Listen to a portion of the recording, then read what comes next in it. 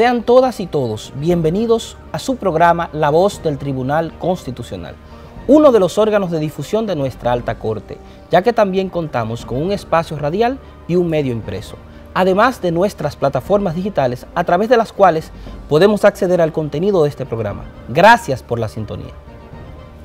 Gracias por sintonizarnos, un honor para nosotros acceder a la teleaudiencia nacional e internacional.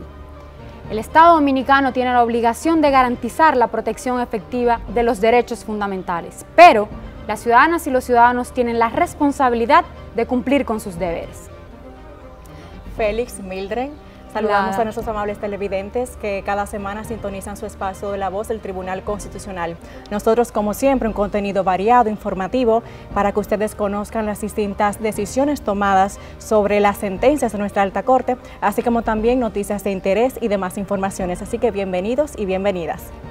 Y para adentrarnos en el contenido del programa de la semana, vamos a iniciar en la entrevista, vamos a conocer con el licenciado José Guillermo Sarita, la importancia de la comunicación en los abogados, el por qué tenemos que desarrollar habilidades comunicativas apropiadas los profesionales del derecho.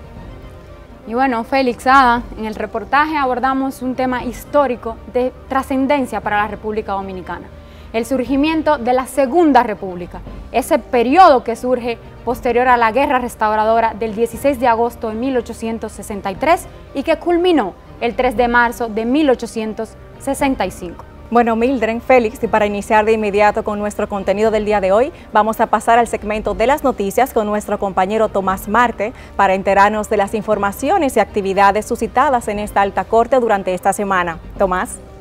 Gracias, Ada. Saludos a ustedes, compañeros, y a los que nos sintonizan semana tras semana, acá en la voz del Tribunal Constitucional. Comencemos de inmediato con las informaciones. El Tribunal Constitucional de la República Dominicana dejó en estado de fallo 10 expedientes de acción directa de inconstitucionalidad durante una audiencia celebrada en la Sala Augusta de la Suprema Corte de Justicia. En la sesión fueron dejados en estado de fallo los expedientes que atacaron la resolución número 008-2019 de mayo de ese año, que instituye el método para la elección de los miembros del Senado en las elecciones generales ordinarias del 17 de mayo del 2020. Estos fueron el TC-01-2019-0022, incoado por los partidos Revolucionario Socialdemócrata, Dominicanos por el Cambio, Opción Democrática, Alianza País, Frente Amplio y Alianza por la Democracia, y la TC-01-2019-0024, donde el Partido Reformista Social Cristiano atacó específicamente su artículo 2. El Partido Revolucionario Moderno actuó como interviniente voluntario. El órgano jurisdiccional declaró en estado de fallo el expediente TC-01-2019-0005 en el que Gregory Castellanos Ruano atacó los artículos 66 y 69 de la ley número 3-2019 que crea el Colegio de Abogados de la República Dominicana, así como los expedientes TC-01-2019-0023 en el que Carlos Manuel Mesa atacó la omisión invocada como falta de iniciativa para la creación de la ley de las consultas populares mediante referendo en la que Carlos Manuel Mesa atacó la omisión invocada como falta de iniciativa para la creación de la ley de consultas populares mediante referendo. En tanto que el Pleno dejó en estado de fallo el expediente TC-01-2019-0025, en el que el defensor del pueblo actuó como accionante atacando el artículo 12, numeral 7, de la ley número 105-13 sobre regulación salarial del Estado Dominicano. También el expediente TC-01-2019-0026, en el que Fernando Santana Pérez atacó la ley número 4400 del 6 de julio del 2000, que establece la lectura e instrucción bíblica en las escuelas públicas. Otros expedientes declarados en estado de fallo son el TC-01-2019-0027 contra el artículo 767 del Código Civil Dominicano y el expediente TC-01-2019-0028 que atacó los artículos 162 y 164 del Código Procesal Penal de la República Dominicana. Del mismo modo, se dejaron en estado de fallo los expedientes TC-01-2019-0029 y TC-01-2019-0030. En el primero, los accionantes atacaron la sentencia número 698 dictada por la tercera sala de lo laboral, tierras, contencioso administrativo y contencioso tributario de la Suprema Corte de Justicia, y en el segundo, la Fundación en Defensa de los Dominicanos de Norteamérica y Juan Ramón Espinal Reyes atacaron el artículo 110 3, numerales 5 y 6 de la Ley número 15-2019, orgánica de régimen electoral. Pero todavía hay más noticias. El Tribunal Constitucional dio apertura a un diplomado para abogados en la provincia de La Vega. Durante la actividad del magistrado Lino Vázquez Samuel, juez segundo sustituto del presidente del Tribunal Constitucional, La Vega, paradigma de exigibilidad y tutela de los derechos colectivos y difusos en el Estado social y democrático de derecho. Es un estilo de vida, un sistema de gobierno y de convivencia en el que se considera en un marco de igualdad tanto la voluntad política como las necesidades de las personas. Dicho en otras palabras, al momento de elaborar los presupuestos nacionales, es necesario poner en balance el hombre, la mujer, el anciano, el niño, el que tiene capacidad especial o discapacitado, en la elaboración de los presupuestos, de modo tal que facilite la existencia real y material del verdadero Estado social y democrático de derecho. En su ponencia, Vázquez Samuel hizo referencia a varios precedentes vinculantes en materia de derechos colectivos y difusos, entre los que citó la sentencia TC 016713, que resuelve el conflicto generado por la empresa Falcon Bridge Dominicana, la sentencia TC 002117 sobre Valle Nuevo, Constanza, la sentencia TC 075817 relacionada con el Carnaval de la Vega y otras más. Este diplomado cuenta con una duración de tres meses distribuidos en 100 horas académicas presenciales en horarios de 8 de la mañana a 1 de la tarde. Amigos, y el magistrado Rafael Díaz Filpo, juez primer sustituto del presidente del Tribunal Constitucional, dictó una conferencia dirigida a maestrantes de la Universidad Federico Enríquez y Carvajal. Díaz Vilpo dictó la conferencia La constitucionalización del derecho penal y procesal penal en el auditorio Dorothy Van Vliet del recinto metropolitano en la Universidad Federico Enríquez y Carvajal durante la apertura de la maestría en Derecho Constitucional y Procesal Constitucional. Filpo manifestó que la norma primaria que debe regular en forma obligatoria el derecho del país es la Constitución y que la necesidad de proteger los derechos fundamentales y la dignidad humana da lugar a un nuevo constitucionalismo llamado constitucionalización del derecho, en el que el derecho se materializa por medio de los principios constitucionales, la garantía jurisdiccional de la Constitución y la importancia de la argumentación. De lo que se trata el proceso penal es de averiguar la verdad, mientras la misma no se haya establecido la culpa del sospechoso estará pendiente de prueba. La investigación de la verdad en el proceso penal tiene, sin embargo, sus límites constitucionales. Nadie está obligado a declarar contra sí mismo. Las penas no pueden ser desproporcionadamente altas o crueles. La razonabilidad de la pena es garantía de la dignidad del condenado. Ninguna persona puede ser sometida a penas, torturas o procedimientos vejatorios que implique la pérdida o disminución de su salud o de su integridad física o psíquica. El juez constitucional recordó que anteriormente el derecho supremo era el derecho procesal civil, por lo tanto era el que irradiaba todo el ámbito jurídico, pero en la actualidad ese papel está siendo asumido por el derecho constitucional que se erige en fuente primordial del derecho. Para conocer más detalles de estas y otras informaciones, visiten nuestra página web www.tc.gov.do. Allí puede encontrar las sentencias, los textos constitucionales y mucho más. Compañeros, ha sido todo en este resumen informativo en la voz del Tribunal Constitucional. Gracias Tomás por las informaciones suministradas. Ustedes no se separen de sus pantallas. Continuamos con más de su espacio, La Voz del Tribunal Constitucional.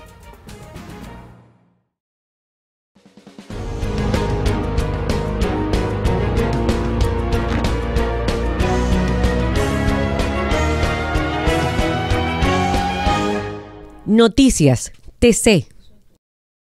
En agosto, El Tribunal Constitucional de la República Dominicana concluye el ciclo de presentaciones de sus jueces a nivel nacional en la provincia San José de Ocoa. Este acto contará con la conferencia magistral titulada Ocoa de pie, desde el Padre King hacia el Estado Social y Democrático de Derecho en la Constitución Dominicana, a cargo del magistrado Lino Vázquez Samuel, juez segundo sustituto del presidente del Tribunal Constitucional.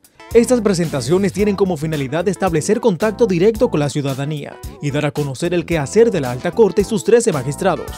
Acompáñanos este viernes 30 de agosto del 2019 a las 11 de la mañana en el Salón Padre Luis Kim del Palacio Municipal San José de Ocoa. Con la celebración de este evento, la Alta Corte se habrá presentado en las 31 provincias del país y el Distrito Nacional.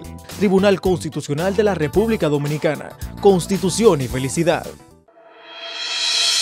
Conoce el nuevo diseño de nuestra página web institucional www.tribunalconstitucional.gov.do.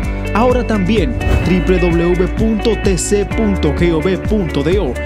En este dinámico formato puedes consultar las sentencias y expedientes emitidos por el Tribunal Constitucional a través de un avanzado criterio de búsqueda por sentencia, número de expediente o palabra clave Además, encontrarás las noticias más relevantes y los medios de comunicación oficiales, portavoces de la cultura constitucional hacia toda la ciudadanía.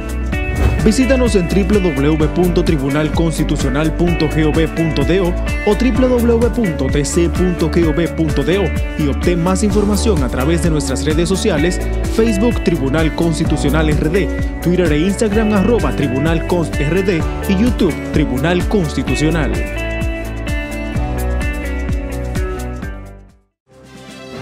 Los derechos fundamentales constituyen un sistema de principios y valores que promueven la vida jurídica de las personas para su pleno desarrollo y la existencia de una vida humana justa y tranquila.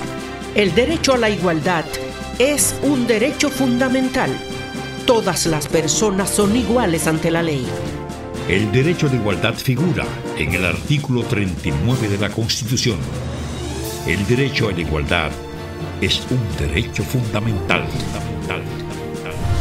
Un mensaje del Tribunal Constitucional de la República Dominicana. El Estado social y democrático de derecho es un estilo de vida, un sistema de gobierno y de convivencia en el que se considera en un marco de igualdad tanto la voluntad política como las necesidades de las personas. Dicho en otras palabras, al momento de elaborar los presupuestos nacionales, es necesario poner en balance el hombre, la mujer, el anciano, el niño, el que tiene capacidad especial o discapacitado, en la elaboración de los presupuestos, de modo tal que facilite la existencia real y material del verdadero Estado social y democrático de derecho.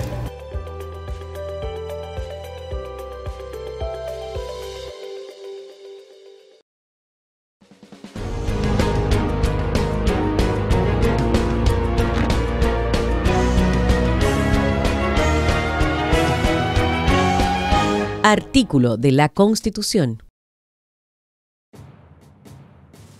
Artículo 168. Jurisdicciones especializadas. La ley dispondrá de la creación de jurisdicciones especializadas cuando así lo requieran razones de interés público o deficiencia del servicio para el tratamiento de otras materias.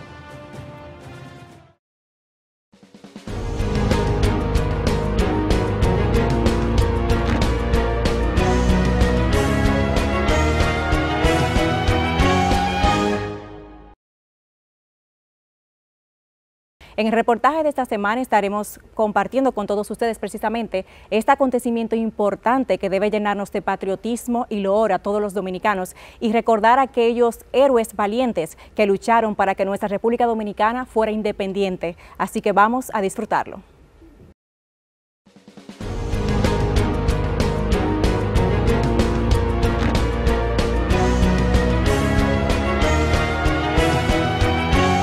El reportaje.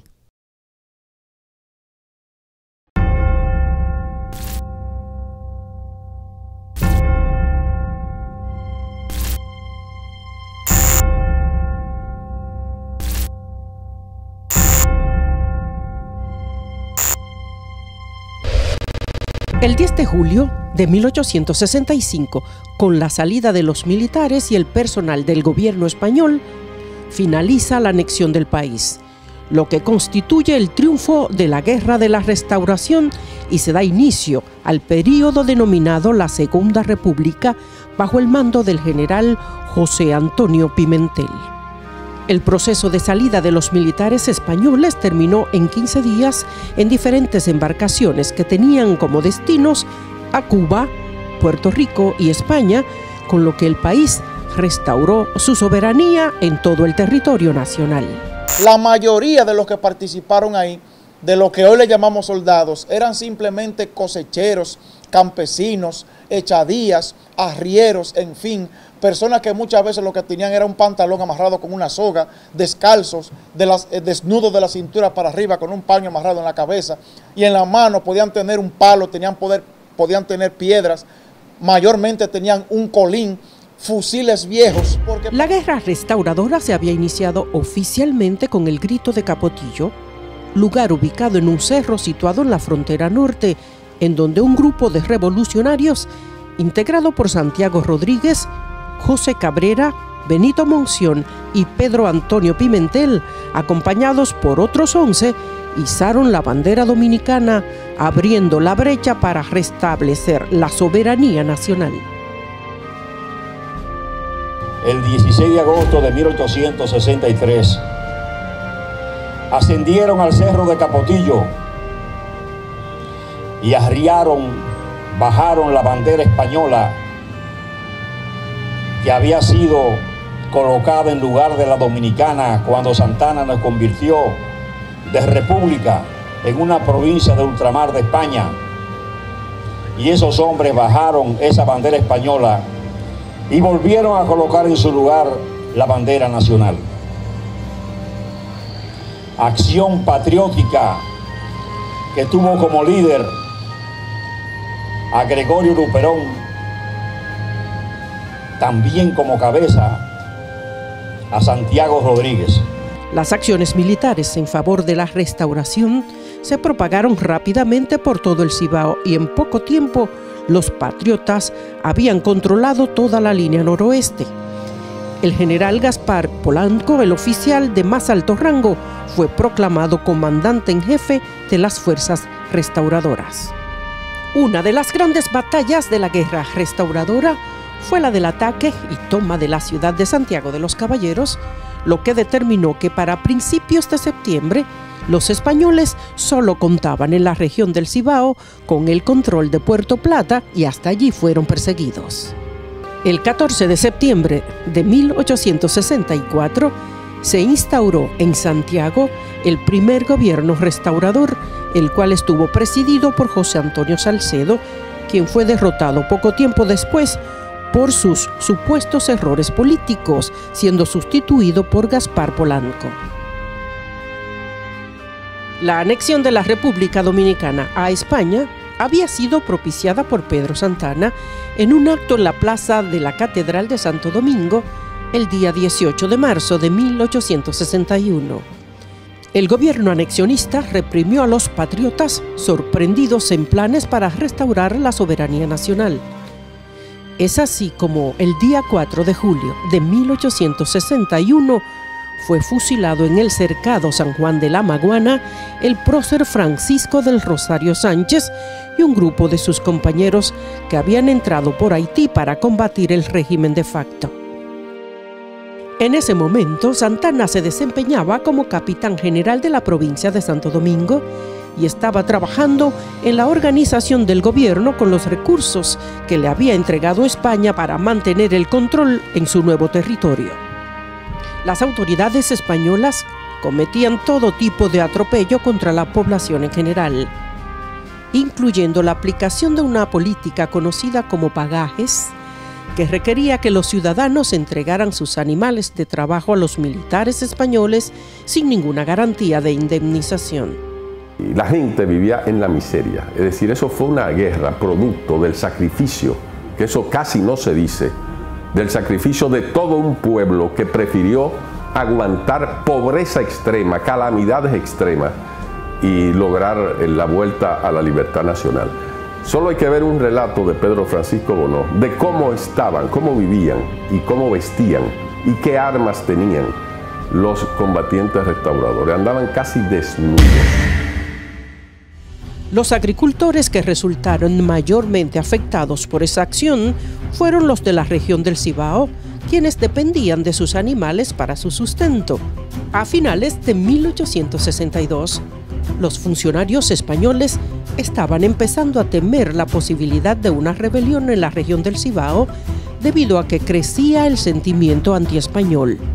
La situación se tornaba más tensa debido a que corrían rumores de que España volvería a imponer la esclavitud y a enviar a los dominicanos negros a Cuba y Puerto Rico. El malestar general que existía en la colonia de Santo Domingo era evidente en los meses de noviembre y diciembre de 1862, cuando los oficiales españoles presentían el estallido de una rebelión en breve plazo. Había el presentimiento de que el Cibao, según los informes, era la región más inclinada a un alzamiento en contra de la dominación de España. Pero contrario a ello, donde se escenificó la primera muestra de repudio a la anexión fue en el sur, Neiva para ser exactos, que para ese entonces era parte de la provincia de Azua. Una vez estalla la rebelión en el sur, las comunidades del Cibao comenzaron a unirse a la guerra y el 13 de septiembre un ejército de 6.000 dominicanos se atrincheró en la fortaleza San Luis en Santiago. Entonces quedó Santiago como la capital de la República en armas. Y después cuando venía Santana a aplastarla, Luperón lo detuvo en Arroyo Bermejo. Pepillo Salcedo es el primer presidente de la República después de proclamada la restauración y firmada el acta de independencia. Entonces Pepillo Salcedo ya se juramenta como presidente y es el presidente hasta 1865, cuando es derrocado, hay que decirlo, esa es nuestra historia, quizás no nos la enseñaron, hay que decirlo, fue derrocado por Gaspar Polanco y Gregorio Luperón. Sin embargo, el balance para los españoles resultó particularmente costoso, pues en el transcurso de la guerra perdieron muchos millones de pesos y sufrieron más de 10.000 bajas, parte por la guerra y parte por la fiebre amarilla que afectó a sus soldados. De su lado, Santana que había sido venerado como un excelente estratega militar, se vio incapaz de romper la resistencia dominicana y en marzo de 1864 desobedeció deliberadamente las órdenes de concentrar sus fuerzas en torno a Santo Domingo, lo que le hizo caer en desgracia con la corona de España. Es así que las autoridades españolas lo reprenden y lo relevan de su cargo en una medida aplicada por el entonces gobernador general José de la Gándara, quien mandó a Santana a Cuba para hacer frente a una corte marcial, pero este murió repentinamente antes de ser procesado. De la Gándara trató de negociar un alto al fuego con los rebeldes. Él y Salcedo aceptaron discutir los términos de paz, pero en medio de las negociaciones Salcedo fue derrocado y asesinado por un grupo de descontentos encabezados por Gaspar Polanco. A la facción de Polanco le preocupaba la posibilidad de que Salcedo tuviera intención de retornar al poder a Buenaventura Báez, a quien odiaban tanto como a los españoles. Buenaventura Báez, que durante la anexión lo que hizo fue que se fue a España, se metió al ejército español y estaba vendiendo la idea de que la guerra de restauración, si él lo mandaba de gobernador, se iba a terminar, porque él iba a controlar eso. ¿Te entiendes? Entonces cuando él ve que la restauración va a triunfar, renuncia a todo eso, se instala allí en Curazao y ahí lo, lo van a buscar para que venga a ser presidente otra vez. En el otro lado del Atlántico, las Cortes decidieron que no querían financiar una guerra por un territorio que en realidad no necesitaban y el 3 de marzo de 1865 la reina Isabel II firmó la anulación de la anexión y cuatro meses después, el 15 de julio, las tropas españolas abandonaron la isla. Los dominicanos tenían que hacerse cargo de su destino. Es decir, ese proceso creciente de identidad y de conciencia nacional es producto del desenvolvimiento de los procesos históricos muy agitados que comenzaron desde el inicio de la guerra fronteriza de 1791. Aunque la guerra de la restauración dejó la economía, especialmente la agricultura, destruida, a excepción del tabaco, ese proceso trajo un nuevo nivel de orgullo nacional a la República Dominicana. La victoria también le demostró a los cubanos y puertorriqueños que España podía ser derrotada, aun cuando el liderazgo durante la guerra se concentró en las manos de pocos caudillos regionales. Como una prueba de que ya la dominicanidad era una realidad en el pueblo, porque fue una guerra que peleó el pueblo dominicano, los peones, los que trabajaban en fincas, los que eh, veían cómo los españoles los maltrataban. Como muestra del reconocimiento de los dominicanos a los hombres que lucharon por el restablecimiento de nuestra soberanía, la ciudad de Santiago muestra con orgullo a su entrada, llegando desde la capital, el monumento a los héroes de la restauración, mientras que en todo el país, en agosto, conmemoramos el mes de la restauración de la República. Digamos como Emilio Prudón, autor de la letra de nuestro himno nacional, compatriotas, mostremos erguida nuestra frente, orgullosos de hoy más que Quisqueya será destruida, pero sierva de nuevo jamás.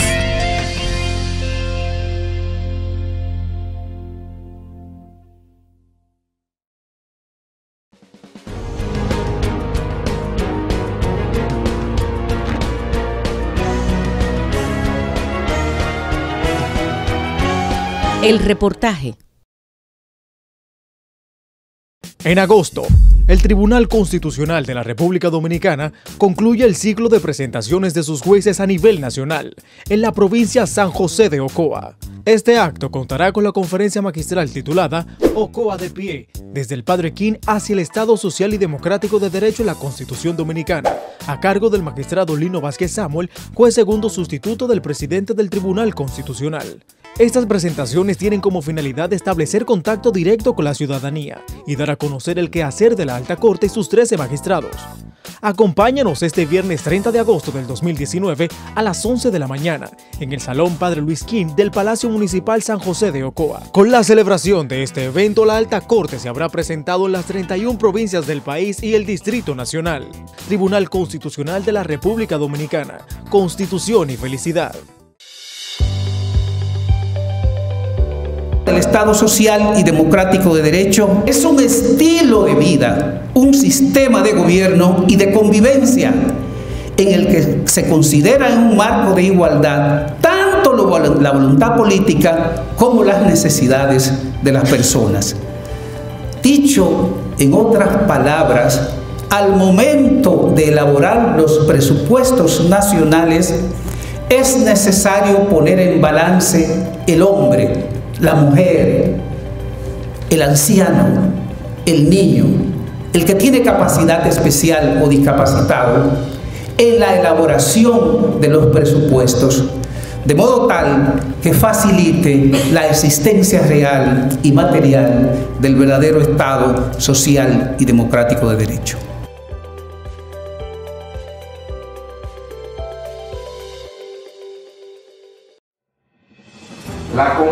Constitucionalización del derecho es el fenómeno jurídico donde el ordenamiento legal de un país debe estar regido en su interpretación y aplicación por la Constitución.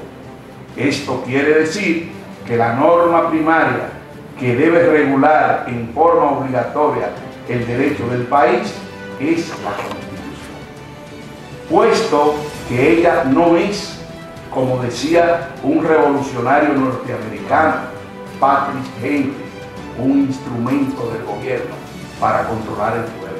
Es lo contrario. Es una herramienta del pueblo para controlar el gobierno.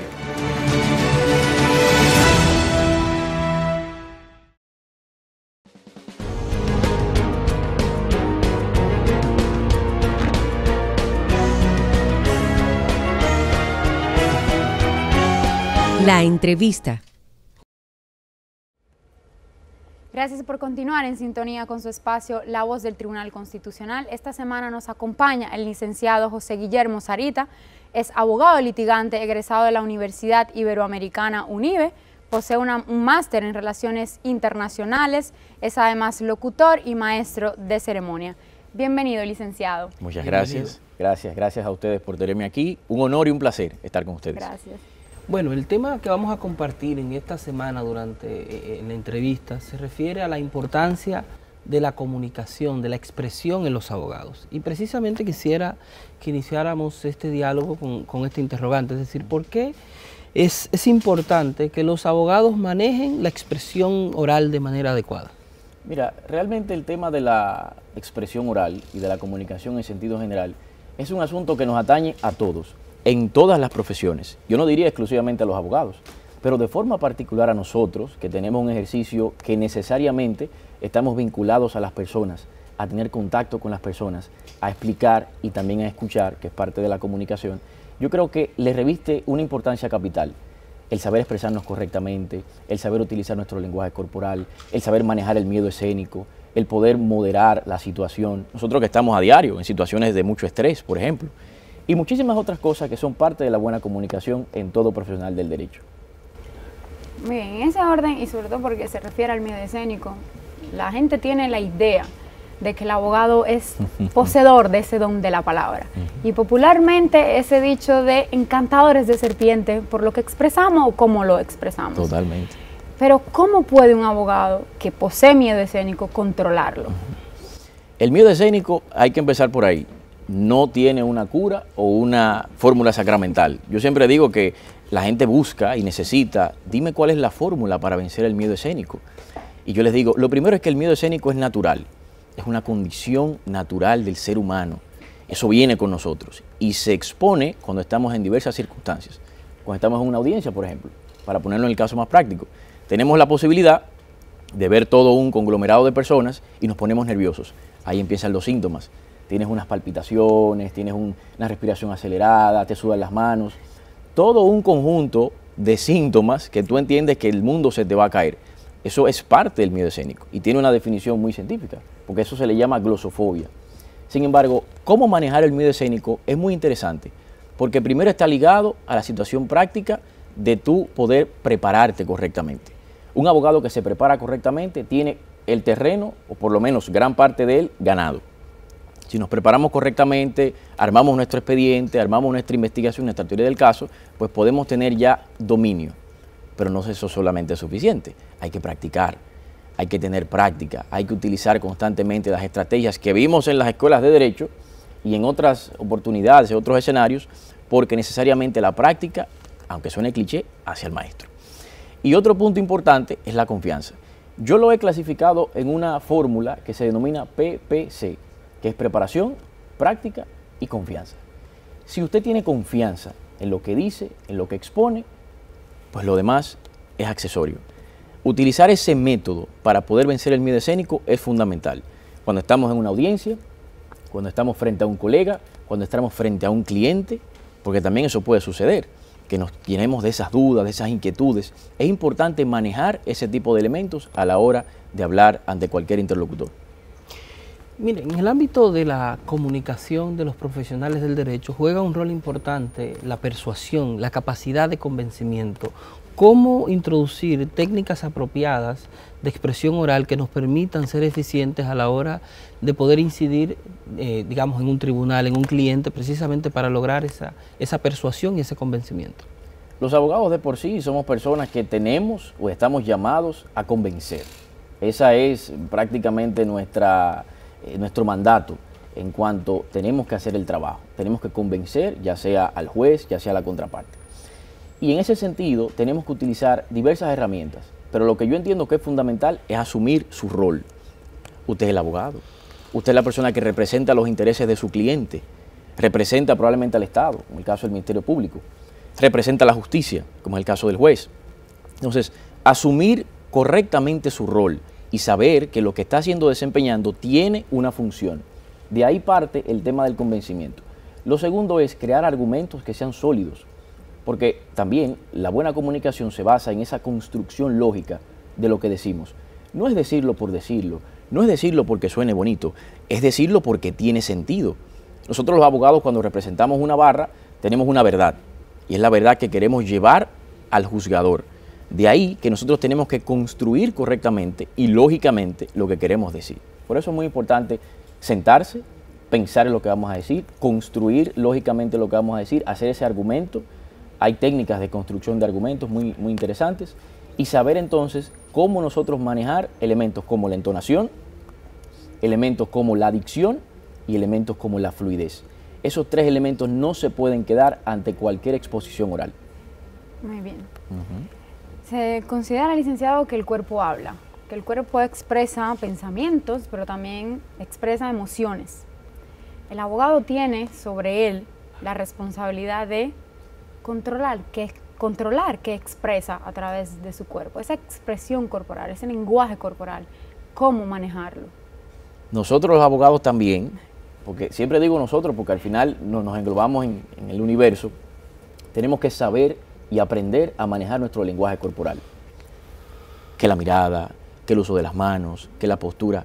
Porque esto es muy importante.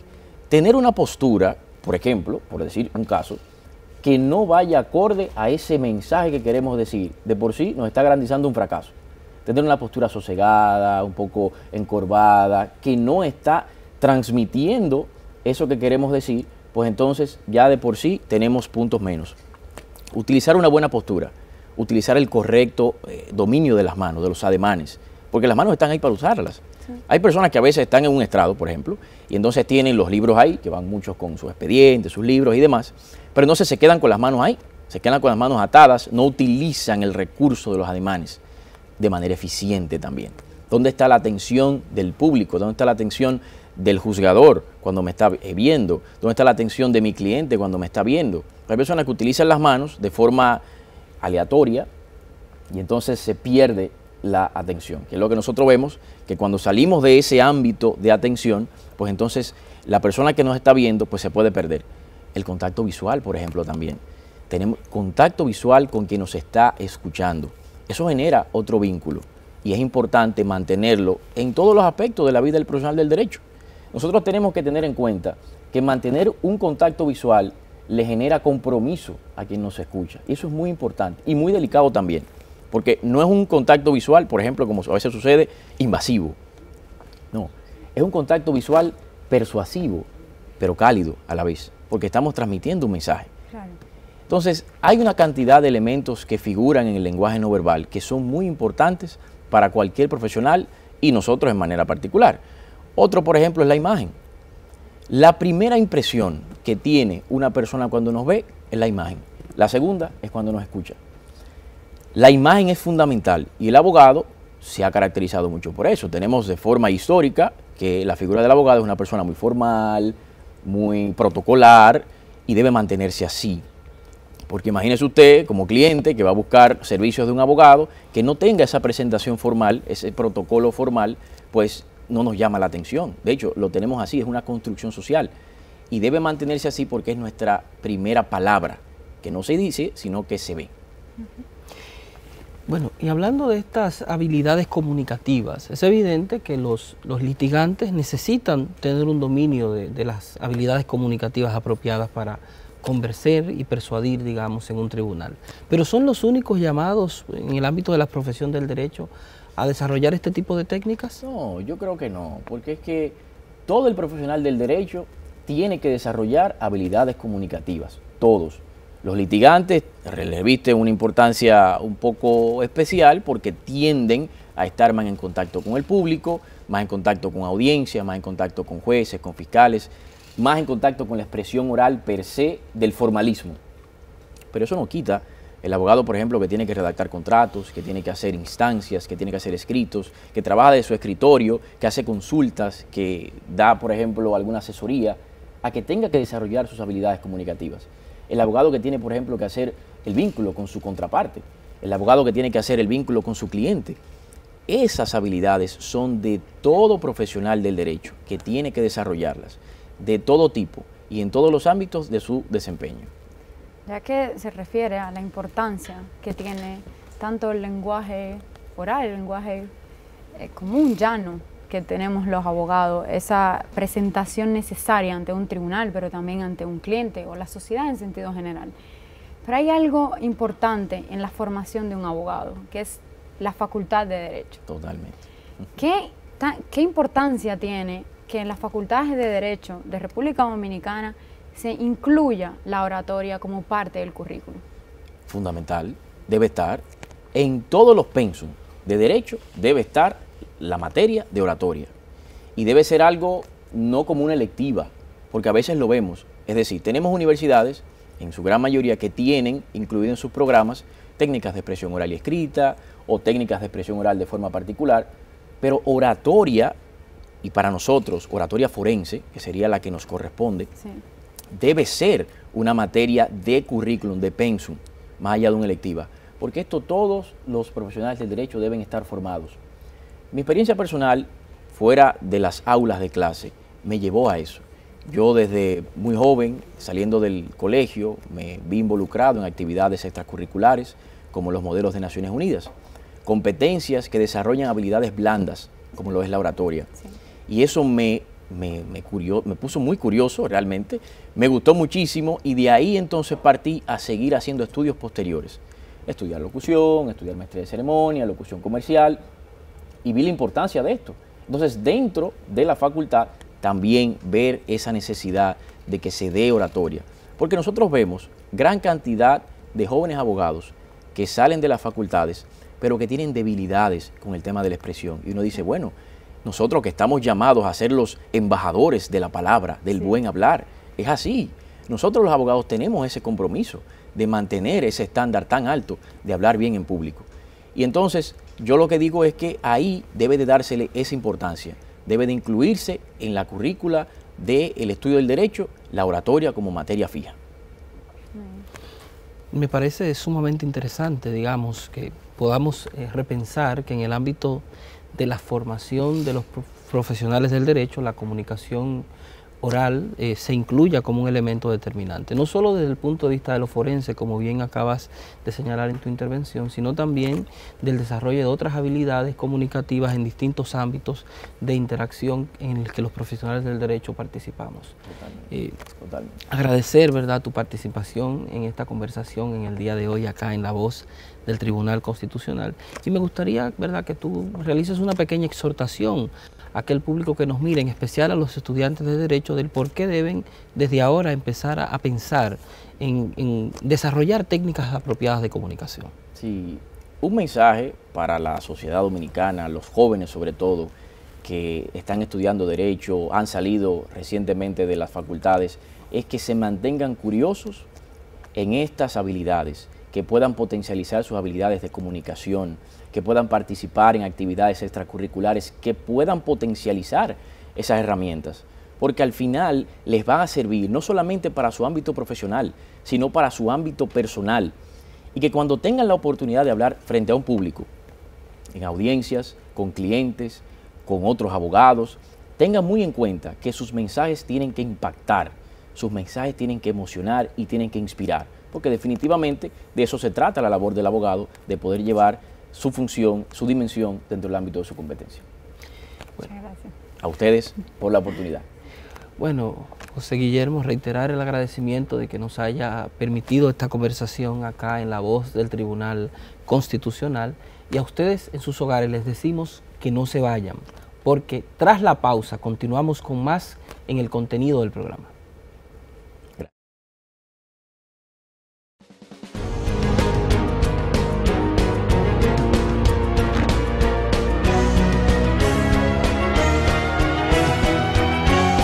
La entrevista. En agosto, el Tribunal Constitucional de la República Dominicana concluye el ciclo de presentaciones de sus jueces a nivel nacional en la provincia San José de Ocoa. Este acto contará con la conferencia magistral titulada Ocoa de pie, desde el Padre King hacia el Estado Social y Democrático de Derecho en la Constitución Dominicana, a cargo del magistrado Lino Vázquez Samuel, juez segundo sustituto del presidente del Tribunal Constitucional. Estas presentaciones tienen como finalidad establecer contacto directo con la ciudadanía y dar a conocer el quehacer de la Alta Corte y sus 13 magistrados. Acompáñanos este viernes 30 de agosto del 2019 a las 11 de la mañana en el Salón Padre Luis King del Palacio Municipal San José de Ocoa. Con la celebración de este evento, la Alta Corte se habrá presentado en las 31 provincias del país y el Distrito Nacional. Tribunal Constitucional de la República Dominicana. Constitución y felicidad.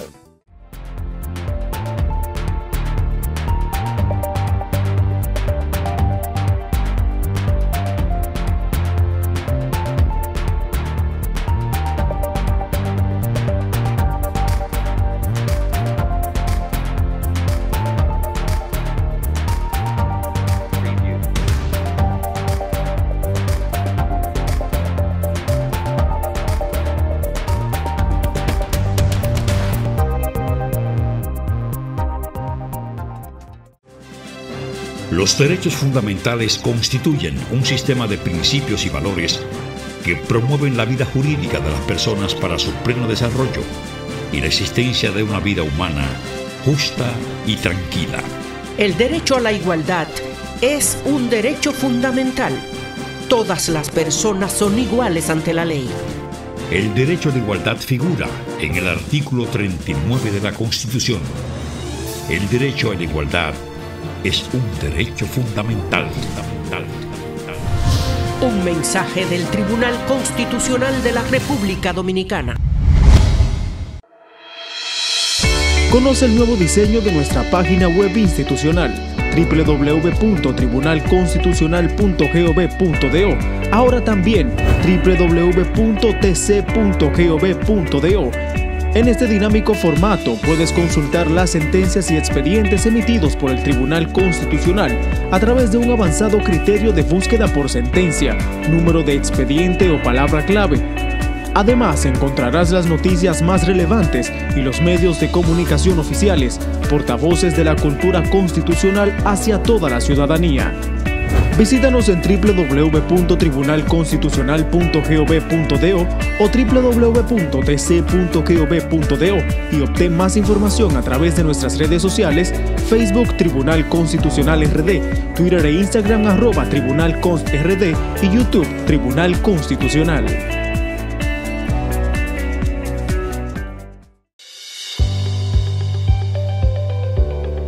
Estado social y democrático de derecho es un estilo de vida, un sistema de gobierno y de convivencia en el que se considera en un marco de igualdad tanto la voluntad política como las necesidades de las personas.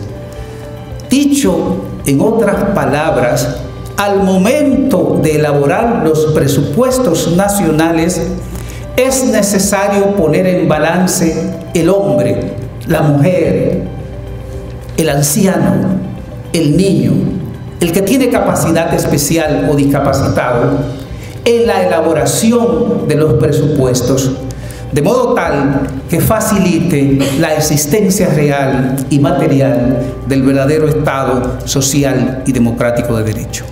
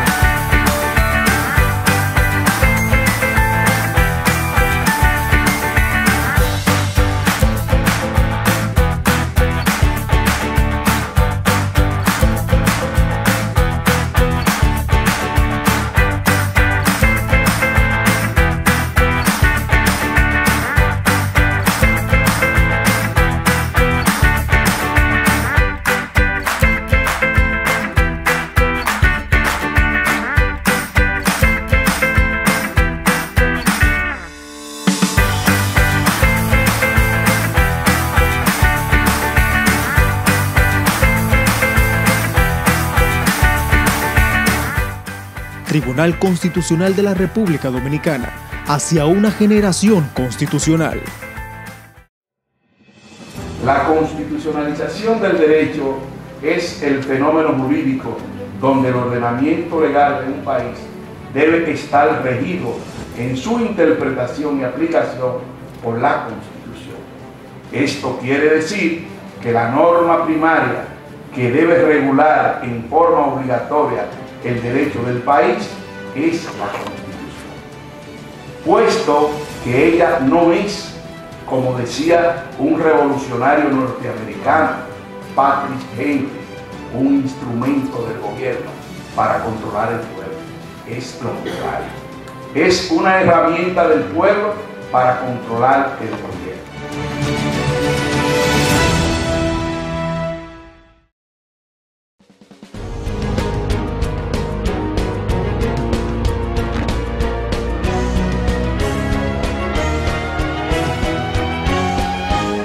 Efemérides constitucionales. Entre los días 16 y 21 de agosto del año 1960, la República Dominicana es sancionada con un bloqueo económico luego de que la República de Venezuela llevara el atentado que hizo el régimen de Rafael Leónidas Trujillo Molina contra el presidente de aquella nación sudamericana, Rómulo Betancourt, el 24 de junio de 1960 en la Avenida de los Próceres en Caracas. La sexta reunión interamericana de consulta, auspiciada por la Organización de Estados Americanos OEA, se celebró en San José, Costa Rica, con la participación de representantes de países democráticos que habían apoyado la causa de la liberación dominicana contra la dictadura trujillista. El gobierno que encabezaba Trujillo fue involucrado en este bochornoso acontecimiento internacional y el régimen dominicano calificó de injustas las sanciones impuestas. En el sistema jurídico de nuestro país se había establecido el principio de no intervención en los asuntos internos como norma política institucional, la cual había sido consignada la Constitución de la República. Al respecto, el 26 de octubre de 1960, el presidente Trujillo pronunció un discurso en Santiago de los Caballeros sugiriendo al Congreso Nacional hacer una reforma constitucional para que introdujera en el texto supremo que la República Dominicana jamás favorecería una condena contra ningún pueblo hermano de América. En su propuesta al Congreso Nacional, el dictador Rafael Leónidas Trujillo Molina pidió que fuera suprimido el cargo de vicepresidente de la República. Al respecto, dijo textualmente, en el país desde hace tiempo había venido funcionando con evidente eficiencia un sistema de sucesión presidencial escalonado que permite que ésta pueda efectuarse sin trastornos y de acuerdo con la voluntad popular. A finales de noviembre de ese año, 1960, la Asamblea Nacional, presidida por el licenciado Porfirio Herrera, comenzó sus trabajos de reforma al texto sustantivo, tal y como lo había solicitado Trujillo en su discurso de Santiago. El día 2 de diciembre de 1960, los asambleístas proclamaron las reformas introducidas en la Constitución Política del Estado Dominicano, tal y como lo había solicitado el dictador, en un acto solemne llevado a efecto en la planta baja del Palacio Nacional. Este texto se mantuvo vigente hasta el 29 de diciembre de 1961, o sea, hasta siete meses después del ajusticiamiento del presidente Trujillo.